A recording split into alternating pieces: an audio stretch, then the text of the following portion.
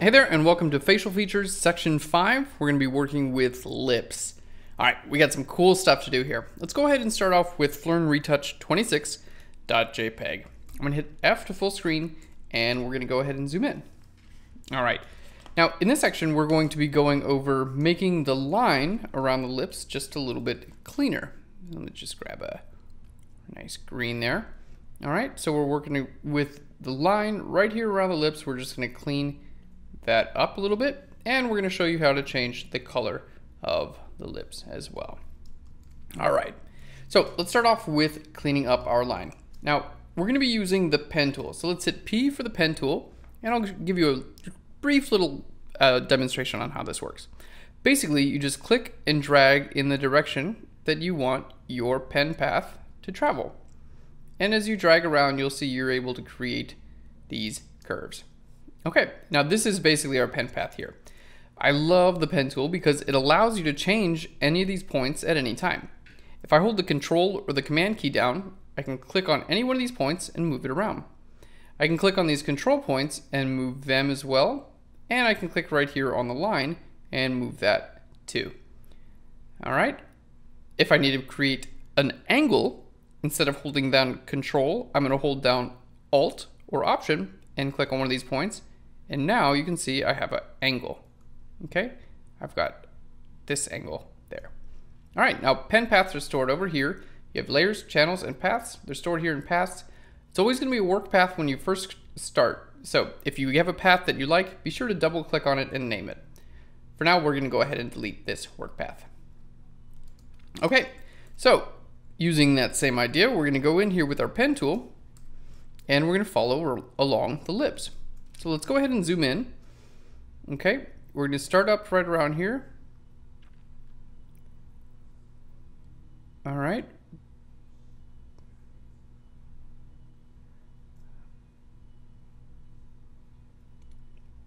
Bring this right down there. And close out right there in the bottom corner of that. All right, now we're going to hold Alt or Option. Bring that over here to create a little bit of a corner. And there we go. We're going to go along down the bottom line of the lips now. Control or Command to click on that. And we're going to continue to follow along with the lip line. All right, now we'll just go up and finish our selection. So we're just basically creating a selection right around the lips. It's gonna clean it up a little bit. All right. Now the bottom looks pretty good. Um, just need a little bit of work right here. All right, so we're gonna hold the control or the command key down. There we go.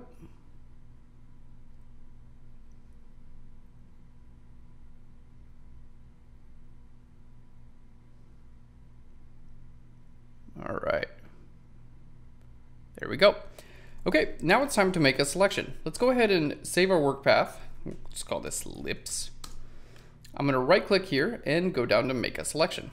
Now we're gonna feather this by about two pixels. Now, just to be sure that the two pixels is actually what we want, I'm just gonna go ahead and fill this whole section with a color. Let's hit Alt or Option Delete. That's gonna fill with my foreground color.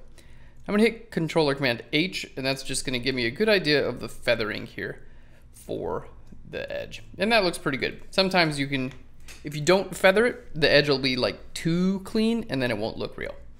All right, so let's just undo that and let's go make sure we're at make selection, two pixels. There we go.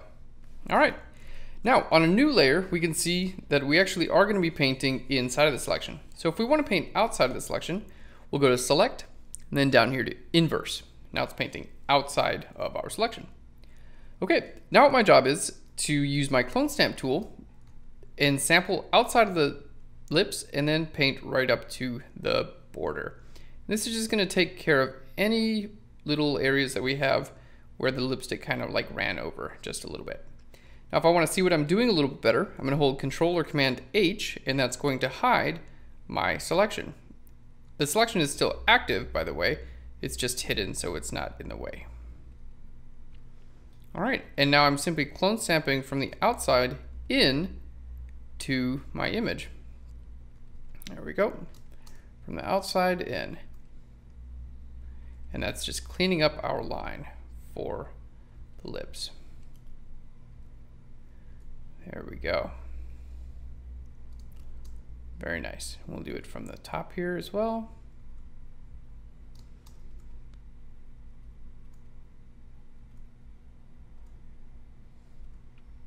Okay. And come all the way in. All right. That looks pretty dang good. Now, what we're going to do is go from the inside out. So, we're going to go to select and then down to inverse again. So now we're painting in the inside of the selection. All right, let's hit Control or Command H to hide that, and I'm going to create a new layer. So now we are going to clone stamp from the inside out. There we go, and that's going to allow us to firm up our line a little bit.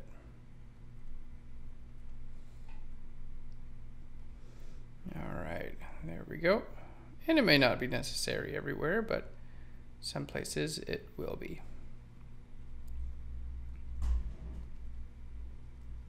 All right. Beautiful. And this is also a good chance to get rid of any little blemishes and things like that that you may see. All right. Very nice. So there's our lips cleaned up quite a bit. All right, so let's look at the before and the after with that. All right, looking good. Now we want to make sure that you see how some of these like little dots and things like that, that actually added quite a bit to the, uh, to the image, to, to the realism of it. So what we're gonna do is I'll deselect. Let's go ahead and group those two layers, okay? And then I'm gonna put a layer mask on that group. And now I'm just gonna paint black right here along the border just to be sure that we do have some of that original detail back in. Again, it's kind of like we went all the way with this, like we defined exactly what we wanted the edge to be, and now we're kind of like toning it back just a little bit to make it look a little bit more realistic. All right, and you can use a nice soft brush for this.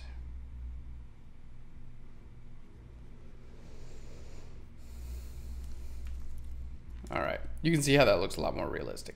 Alt or Option, click on our layer mask, and that's what it looks like. And then if I shift click on the layer mask, there's a before and the after. So here we go. That's cleaning up our lips, but still making everything look really nice and realistic. This over here. There we go. All right. Looking good. Okay, the next thing we're going to do is work on the color of the lips. So you can do this in a lot of ways.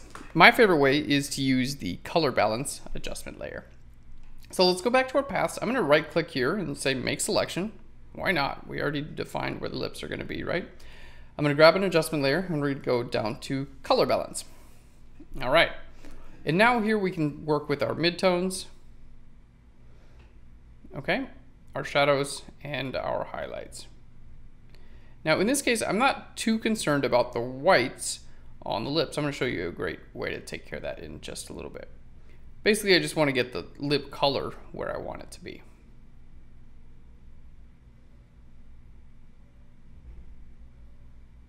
All right, now in a lot of cases, and this one included, I don't really need the lip color to be that different from when it started. I just want to show you guys how it, how it works there.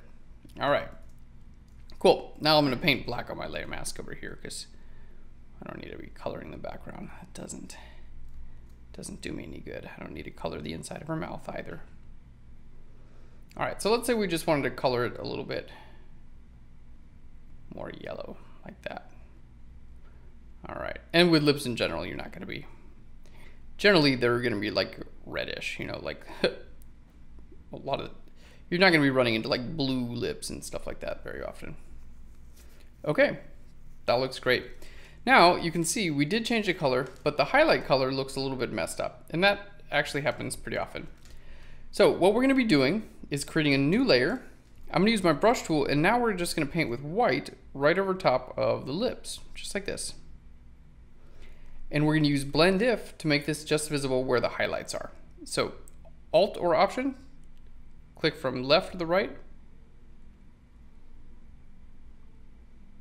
All right. Very nice. And let's just lower the opacity a little bit there. And that way we have a nice white highlight on top of our lips. All right. And if I want to go in here with the highlights, again, I'll just put a little less green in there. Control that as well. Beautiful. So there we have our lips are cleaned up. there we go. Our lips are cleaned up as well as colored. Beautiful. All right, let's switch to our next image. In this image, we're going to be duplicating our background and I'm going to select around my lips and hit Shift Command X. I just want to straighten these up a little bit. You can see the top lip looks great, very symmetrical. The bottom lip has a larger side on the right than it does on the left. So we're just going to use our forward warp tool to kind of just pull this down a little bit. That happens all the time. People don't have perfectly symmetrical faces. Well, most people don't anyway. All right, there we go. So little liquify helps that out quite a bit. Here's the before and the after with that. All right, beautiful. Next, we're gonna create a new layer and I'm gonna go in here with my healing brush tool and we're gonna sample some areas and just kind of do a little bit of retouching here. These lips are pretty good actually, so we don't have to do a whole lot. And generally lips are not like the focus of whatever I do in Photoshop. You know, there's, I don't spend a ton of time retouching lips. All right, that looks really good. Now, if you are doing a little bit of retouching, grab your curves adjustment layer. We're gonna bring this a little bit brighter. Okay, I'm gonna hit Controller Command I. And then there are areas that we wanna focus on um, for making a little bit lighter. Generally, we want to focus on this lip line here. Make that a little bit lighter. We want the lip line right in here to be a little bit lighter. And oftentimes I'll lighten this up a little bit because it'll be interesting to do so. And generally down here, we want that to be darker. All right, so here we've made it a little bit lighter. On our layer mask now, we're gonna paint white right over top of these areas. Now in this case, this lip already has a really nice highlight there, so it's not totally necessary, but we're just gonna paint white on our layer mask there. Now we're gonna do the same right over here. That's just gonna help bring those areas. Again, nothing crazy, just a little bit brighter there.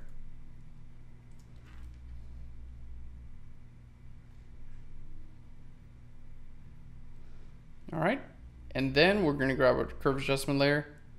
We're gonna bring that down a little bit. Hit controller command I on that layer mask, and then with a big soft brush, paint under the lips there. All right, and there our lips should stand out quite a bit more. Yeah. There we go. That looks pretty great. Nice lips, man. All right, let's go ahead and group all those layers and then see the before and the after. You can see those lips look a lot better. They look like they've got more life and more depth in them. All right, and that's pretty much all we need to know for lips. So male lips and female lips, lipstick and no lipstick.